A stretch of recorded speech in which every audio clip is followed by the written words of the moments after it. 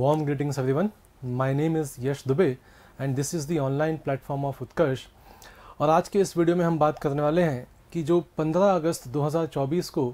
Prime minister ने red fort से जो इंडिपेंडेंस डे स्पीच दी है, जो कि प्रथा हमेशा चली आ रही है कि 15 अगस्त को प्रधानमंत्री लाल किले से अपनी एक स्पीच देते हैं। और दूसरा है कि 26 जनवरी को राष्ट्रपति जो है वो संबोधित करते हैं राष्ट्र को। तो आज हम डिस्कस करने वाले हैं कि प्रधानमंत्री जो भी हैं, श्री नरेंद्र मोदी जी, उन्होंने जो 15 अगस्त को देश के नाम संदेश दिया, उसमें इंपॉर्टेंट जो पॉइंट्स हैं जो इंपॉर्टेंट बातें हैं वो क्या थी? हालाँकि भाषण काफ़ी लंबा था, लेकिन उस भाषण से निकलने वाले उस स्पीच में जो बहुत ही महत्वपूर्ण इंपॉर्टेंट पॉइंट्स हैं, उनको आज हम डिस्कस करेंगे। तो देखते हैं कि जो फोकस एरियाज़ रहे इस बार प्राइम मिनिस्टर की स्पीच में, वो छह फोकस एरियाज़ हैं। तो सबसे पहले प्राइम मिनिस्टर ने जिस चीज़ की ओर जो है इशारा किया और जो एकदम क्लियरली प्रधानमंत्री ने अपने स्पीच में बोली, वो थी सेक्युलर सिविल कोड नसी आपको पता होगा कि article 44 which is under part four of Indian constitution part four का नाम है directive principles of state policy तो इस पार्ट के अंदर आर्टिकल 44 जो है, वो कॉन्स्टिट्यूशन की तरफ़ से एक डायरेक्टिव है टू द स्टेट जो कि कहता है कि यूनिफॉर्म सिविल कोड अप्लाई किया जाए। कॉन्टेक्स्ट ये है कि भारत में अभी जो पर्सनल या जो सिविल लॉज हैं they are personal in nature मतलब कानून with respect to those laws which are relating to the marriage divorce inheritance succession ये जो कानून है ये कानून अभी यूनिफॉर्म नहीं है, सिविल कानून यूनिफॉर्म नहीं है, ये जो कानून है, ये रिलीजन के लॉज के अकॉर्डिंग है और हर रिलीजन अपने मेंबर्स के इन पर्सनल मैटर्स को अलग तरीके से रेगुलेट करती है।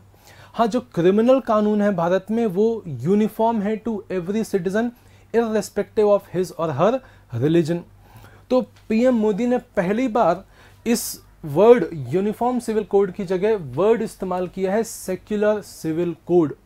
और बोला है कि जो प्रेजेंट सिस्टम है, जो पुरानी सरकारों ने जारी रखा, उन्होंने कहा कि जो प्रेजेंट सिस्टम है, सिविल लॉज का, उसको उन्होंने कहा कम्युनल सिविल लॉज। तो यहाँ पे उन्होंने कम्युनलिज्म और सेक्युलरिज्म के बीच में एक वेज एक वेज ड्रॉ किया। और बोला कि जो अभी तक सिविल सिस्टम चला आ रहा है, सिविल जो क्रिमिनल सिविल सिस्टम है या सिविल लॉ सिस्टम है that is communal in nature और जो हम लेके आना चाहते हैं, जो हमारी सरकार की प्रतिबद्धता है, क्योंकि सरकार, ये जो पार्टी है, जो party which is in power at the centre now इसने अपनी मैनिफेस्टो में बोला था कि when we will come to power we will bring uniform civil code पर इस बार प्रधानमंत्री मोदी ने यूसीसी की जगह जो वर्ड इस्तेमाल किया है वो है सेक्युलर सिविल कोड और उनका कहना है इसमें कि अभी तक जो पार्टीज़ हैं, उन्होंने इस तरफ़ ध्यान नहीं दिया और अभी का जो कम्युनल सिविल कोड है, वो इन इक्वालिटी से भरा हुआ है। उसमें डिस्क्रिमिनेशन है और उसके अंदर इन इक्वालिटी है। तो हम एक यूनिफॉर्म जो सिविल कोड लाएँगे, जिसको मोदी बोल रहे हैं सेक्युलर सिविल कोड वो कोड जो है उसमें इनक्वालिटीज और डिस्क्रिमिनेशन नहीं होगा। It will be applicable uniformly to all the citizen of India irrespective of their religion तो पहला इंपॉर्टेंट चीज़ ये है। दूसरी बात इन्होंने की है which is one nation one election no see what is one nation one election या इसी को हम बोल सकते हैं concept of simultaneous election simultaneous election का मतलब क्या है? कि फ़िलहाल जो लोकसभा और विधानसभाओं के चुनाव हैं, ये अलग अलग टाइम पीरियड पे होते हैं। इसके कारण टाइम बहुत वेस्ट होता है एक्सपेंडिचर जो है वो होता है सरकार का, और डेवलपमेंट के काम, क्योंकि चुनावी दौरान, चुनाव के दौरान डेवलपमेंट के काम मॉडल कोड ऑफ़ कंडक्ट लागू होने के कारण रुक जाते हैं। इसलिए डेवलपमेंट ऑल्सो सफर्स तो इन चीज़ों को ध्यान में रखते हुए एक ऑल्टरनेटिव तरीका है जो कि भारत की राजनीति में उन्नीस सौ सड़सठ तक हुआ भी कि शुरुआत के जो चुनाव हुए भारत में, वो चुनाव साइमल्टेनियस थे। मतलब लोकसभा और सारी विधान, विधानसभाओं के चुनाव एक साथ हुए। पर ये सिलसिला लेट 1960s 1970s में टूट गया क्योंकि कुछ विधानसभाएँ before their due term they were dissolve जिसको हम बोलते हैं प्री मेच्योर डिजोल्यूशन तो वहाँ से वो साइकिल जो है वो बिगड़ गई। लोकसभा और विधानसभाओं के चुनाव जो साथ में हो रहे थे दैट साइकिल गॉट डिस्टर्ब्ड और उसी साइकिल को वापस लाना that is nothing but simultaneous election और one nation one election this will save time this will ensure that the developmental activities they are not stalled और चुनाव के मोड में सरकारें और पार्टीज़ रहती हैं, जिससे डेवलपमेंट के काम रुक जाते हैं। तो this is the advantage of one nation election one nation one election जो कि ये पार्टी जो है वो बहुत समय से इसके बारे में बात कर रही है। और रिसेंटली जो हमारे पूर्व राष्ट्रपति थे, मिस्टर रामनाथ कोविंद, उनकी अध्यक्षता में एक कमेटी बनी थी, जिस कमेटी ने अपनी रिकमेंडेशंस दी, और उस कमेटी ने बोला है कि one nation one election is a good way और it is a good step in the right direction next जो है he talked about the issue of women safety see the issue of women safety अभी recently हम देख रहे हैं कि एक बहुत ही अनफॉर्चुनेट इंसिडेंट हुआ है in the city of Kolkata in the state of West Bengal जहाँ पे एक महिला डॉक्टर के साथ एक बहुत ही दर्दनाक हादसा हुआ है। तो इसी कॉन्टेक्स्ट को ध्यान में रखते हुए मोदी जी ने कहा है कि वुमेन सेफ्टी को लेके we will have to instil a sense of fear in the minds of those individuals and those people who try to abuse women उन लोगों के मन में, मस्तिष्क में भय पैदा करने, करना पड़ेगा जो महिलाओं की सुरक्षा का ख्याल नहीं रखते या जो महिलाओं को अब्यूज करने का मन या अब्यूज करने का काम करते हैं या ऐसी मंशा रखते हैं। इन लोगों के मन में भय पैदा करना पड़ेगा। जब तक इन लोगों के मन में भय नहीं होगा, तब तक महिलाओं के खिलाफ ये अपराध जो है वो होते रहेंगे और देश की एक ये बड़ी समस्या है। कहा, कहते हैं वो इसमें आगे कि जब महिलाओं के ऊपर अत्याचार होते हैं तो ये मीडिया में लाइमलाइट में आती हैं ये खबरें। It becomes an important headline in the news papers and the TV news TV news लेकिन ये खबरें नहीं आती हैं टीवी में कि जब किसी महिला के साथ होने वाले अपराध को लेके जब अपराधी को सजा मिलती है मतलब हमारे कन्विक्शन रेट में, महिलाओं के खिलाफ होने वाले अपराध और उनमें जो अक्यूज हैं, उसकी जो कन्विक्शन रेट है वो बहुत है और जस्टिस जो है वो बहुत डिलेड है। इसलिए जब तक ये खबरें बनेंगी, अभी खबरें बनती हैं कि महिलाओं के खिलाफ हो रहे हैं अपराध, जब ये खबरें बनेंगी कि महिलाओं के खिलाफ जिसने अपराध किया है, उसको बहुत कड़ी सजा मिली है कानून के दायरे में रह के, तब जाके इन लोगों के मन में, मस्तिष्क में भय पैदा होगा जो महिलाओं के खिलाफ अपराध करते हैं। और तब जाके महिलाओं के अगेंस्ट जो अपराध हैं, वो उनकी संख्या कम होगी। अगला ये बात कर रहे हैं मोदी जी की स्पीच में। अगला इंपॉर्टेंट पॉइंट था youth in politics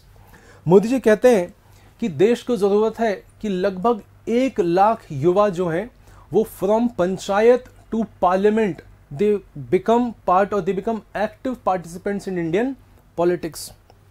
You see, एक बहुत इंपॉर्टेंट स्टेटमेंट है प्लेटो का। वो कहता है that if the youth of a nation do not take participation in its politics then they shall be ready to be ruled by fools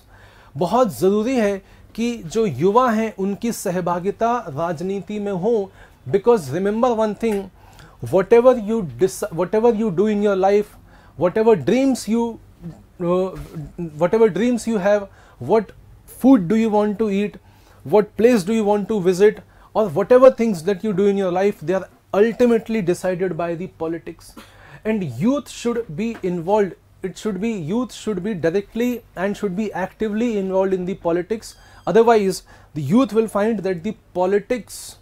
and the policies which are being formed they are not reflecting their dreams and aspirations इसलिए जो युवा हैं, उसको policy making में और politics में actively participation करना चाहिए। तो मोदी जी बोलते हैं कि एक लाख युवाओं को पंचायत से लेके पार्लियामेंट तक, संसद तक उनकी सहभागिता होनी चाहिए। And if I tell you an important data तो एज ऑफ़ नाउ अगर हम अभी एटीन ये जो करंट हमारी लोकसभा है that is eighteen in number so the current eighteen Lok Sabha, इसकी अगर हम बात करें तो हमारे पास जो एवरेज एज है of the M in the eighteen Lok Sabha वो एवरेज एज है 56